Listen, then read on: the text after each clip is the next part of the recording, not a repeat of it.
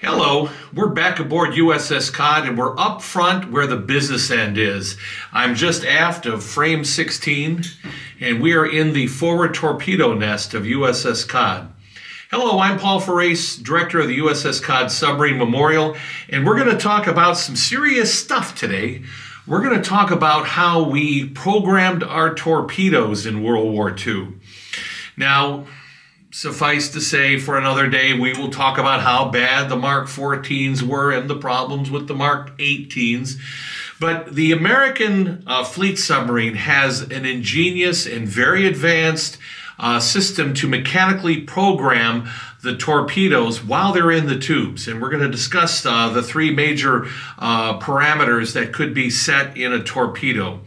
Uh, we'll start with uh, the speed. Now, the Mark 14 torpedo has the ability to run at high or low speed. That will give you a range of about 4,500 yards at high speed, which is about 55 miles an hour, uh, or up to 9,000 yards uh, at low speed.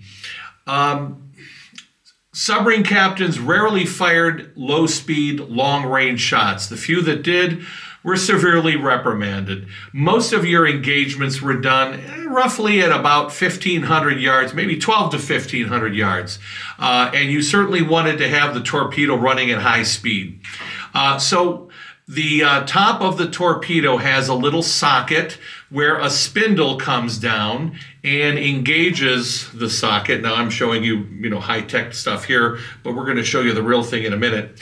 Um, uh, so you could set the high or low speed. And that's done, and I'm, I'm looking at torpedo tube number one here. And that's this, there's a little lever here, uh, spring-loaded, so I can pull the spindle out.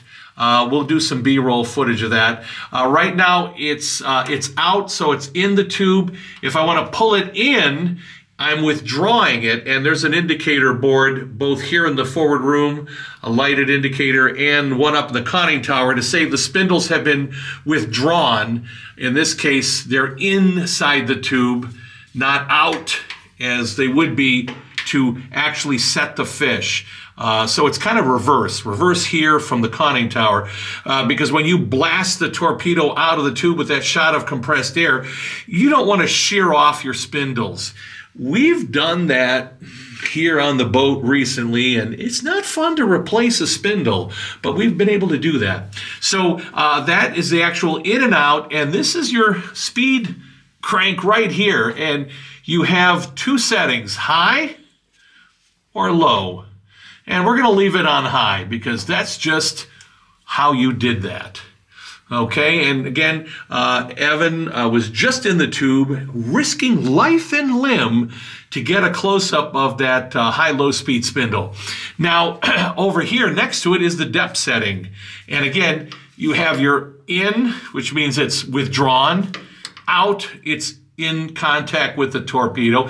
And that's uh, also uh, a, a, a spindle socket at the top of the torpedo toward the back. And here is my crank. Now, it's interesting. I can set it for zero or five feet. Now, there's no graduations between zero and five. And I think that might have to do with the fact that they no guarantee that uh, you're going to get a precise depth. But starting at five, they're going to claim precise depth. And of course, we all know the Mark 14 had a very uh, uh, big problem with uh, depth setting. So you might set it for five, but you got 15 or 20 feet uh, until they corrected that. But this is how you would set the depth you wanted the torpedo to run. Now, I just passed 12. It's 12 feet right there.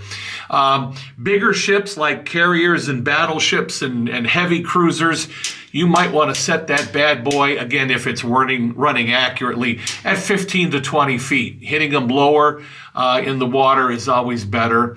Uh, destroyers, lighter ships, you would probably want to hit maybe eight feet, seven, eight feet down.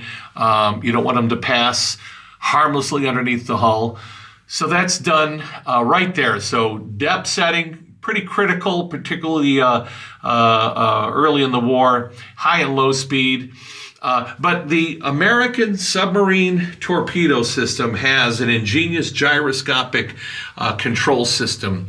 Uh, up in the conning tower, we have the marvelous torpedo data computer, which uh, basically integrates uh, uh, the ship's own course speed heading, the determined speed and heading, relative bearing of the target, and integrates and crunches that data and gives what's called the gyro angle. Now, it's the angle at which the torpedo, once it leaves the tube, has to turn to so that it will meet the ship at a place in time and space in the future uh, because he's moving, you're moving. So uh, all of those parameters are being taken into account by an analog fire control computer in the conning tower. And it's going to tell you, uh, given the course and speed of both the target and the submarine, what the gyro angle the torpedo needs to turn to so that it will intercept the ship. Uh, and that's a little more uh, of an involved system. Um, it starts with the TDC. The TDC then talks to this device that I'm doing a great job of blocking, but I'm just going to sit down on this 82 year old stool covered with uh, gypsy green oilcloth, and that's literally what the uh, blueprint says. Uh, it's upholstered with. And we are now looking at the gyro setting indicator regulator number one. I'm going to assume the one in the after room is probably number two. It's also known as the Mickey Mouse. Why that? I guess because of these two black dials, these round dials sort of look like Mickey Mouse's ears. Uh, but uh, yeah, we've got some great B-roll footage.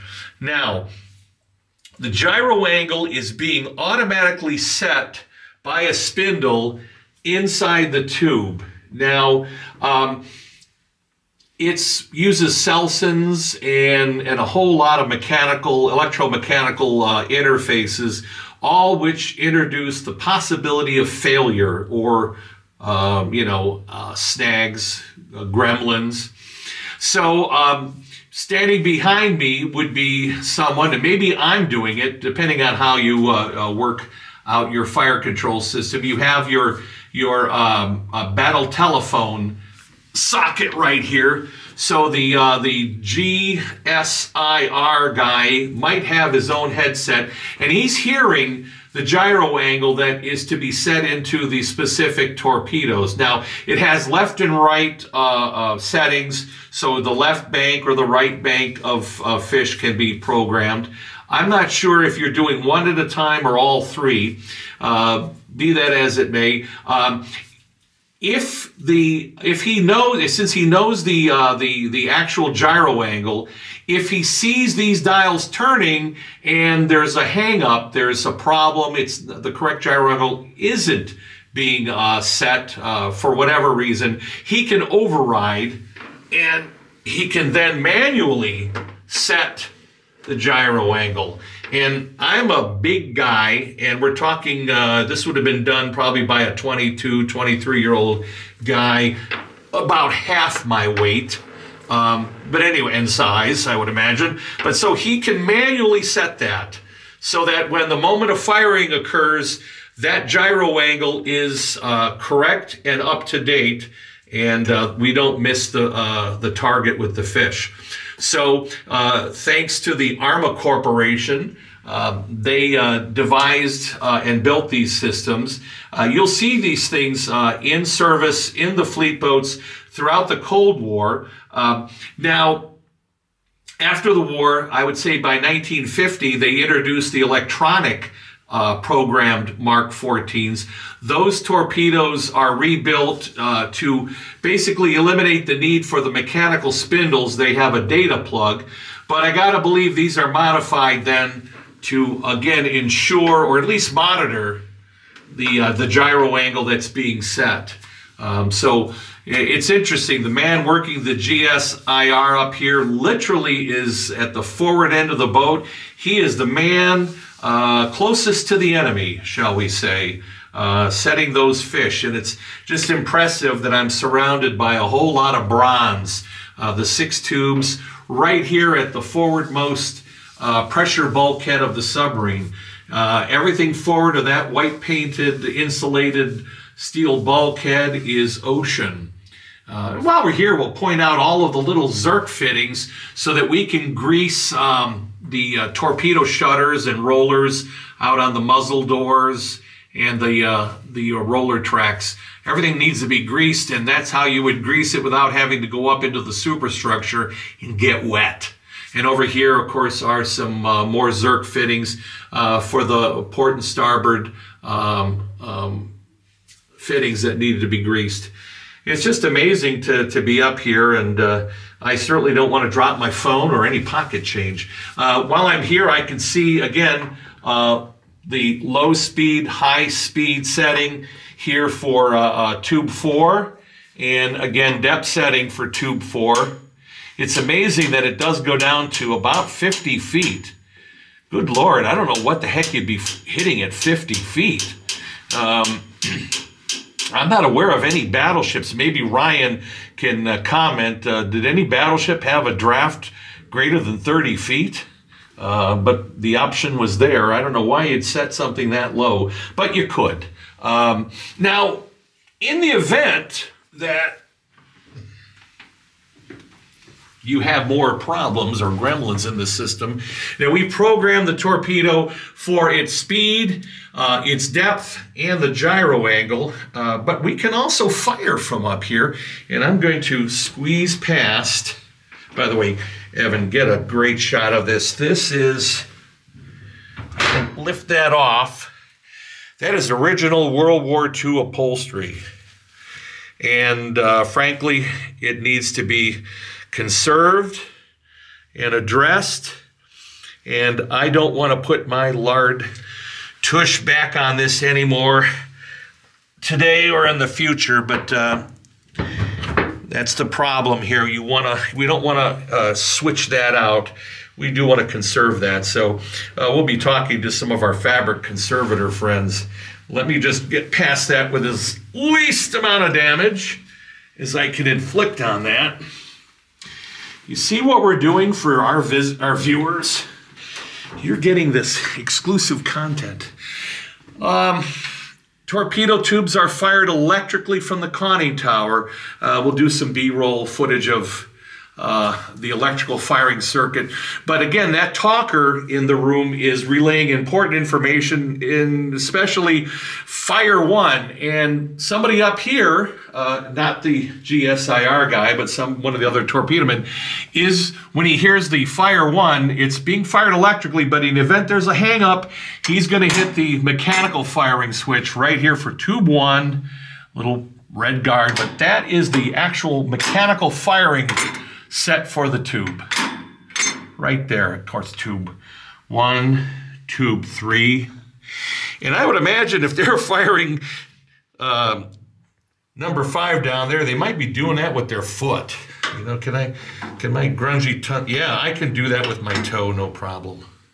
So that's how we program uh, mechanically and fire uh, torpedoes up here in the forward room, and it's going to be the same for those uh, those tubes back aft. Those three foot longer tubes back aft. Why are they longer than these? These are about 22 feet long. That gives you six inches of clearance on the nose uh, before you get the muzzle door. Three feet longer, as I said in a previous one, because the boats were designed for the possible uh, use of a universal torpedo um, that's basically the same length as a surface ship torpedo, so it's three feet longer. So in the event that we didn't have enough torpedo production capacity, which in fact was an issue, um, had the universal torpedo been available in large quantities, submarines, fleet subs like COD, could fire them out the aft tubes. We had three foot longer tubes. Anyway, um, we're going to probably go up to the conning tower next and we'll show you the electrical. Okay, we're up here in the uh, conning tower at the uh, firing panels here. Um, this is where it's all done electrically. Over here we have the TDC, a great subject for a future uh, program. Suffice to say, if you need to know something about the TDC right now, Go to Greg Williams' great piece on the torpedo data computer at uh, the uh, USS Becuna. Greg did a great job uh, talking about the uh, capabilities of the Fleet Submarine's torpedo data computer. So kudos to Greg. But right now we're talking about shooting. So I showed you the uh, uh, mechanical. Mostly it's done electrically. You fire one torpedo at a time. In this case, number three. Number three is standby. Uh, so that means we see these lights. Now, lights for number three right here. Pointers matched, which means that the uh, TDC and the GSIR are talking and they're communicating. They're in synchronization. The pointers are matched. Uh, we will see this light come on to tell us the spindles are engaged. They are in their sockets and they are programming the torpedo. Uh, when you're ready to fire, this light will go out. This light will come on, ready to fire, meaning the spindles are pulled out and the pointers are matched and that everything's working hunky-dory. So anytime you're ready, because remember the uh, the data is being uh, updated in the torpedo while the spindles are engaged. So that's almost to the moment of firing after the war, the electronic system allows you to update it to the moment of firing. But uh, the captain, we're standing by. The captain says, fire three. Aye, aye, fire three. Push that button. Stand by. He'll say, stand by four. And now we're looking at four. And four. Fire four. That's how we do it. Now there's a talker up here who repeats the captain's message. And that's uh, to alert the guys in the forward room to mechanically fire it as well. So these are the absolute, uh, the actual, uh, shall we say, executioner's buttons. That's that red plunger right there.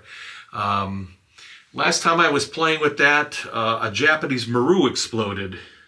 That's because they wanted my hand pushing the button for a Japanese television documentary.